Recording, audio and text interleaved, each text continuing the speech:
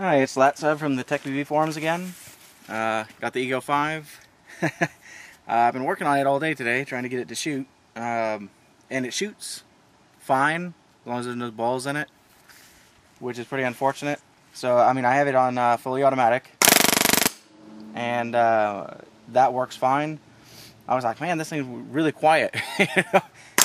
uh, it, it actually sounds a lot closer to my mark. Uh, so I was like, okay, pressure must be down. You know, it wouldn't shoot any balls out the damn thing. So I got the pressure, take the pressure all, or the screw all the way out. So the pressure's all the way up, as far out as it goes. Nice and loud like an Ego should be. Turn on the rotor.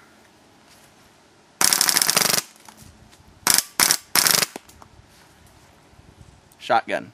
uh, I don't know what's up with it. It's uh, just fills up the barrel and then suddenly just poops them all out. Um, I'm assuming it has got to be something. Uh, it's got both the QEVs in it, um, so hopefully they're still good because the Ego 5 ones are goddamn expensive. Not to mention difficult to find.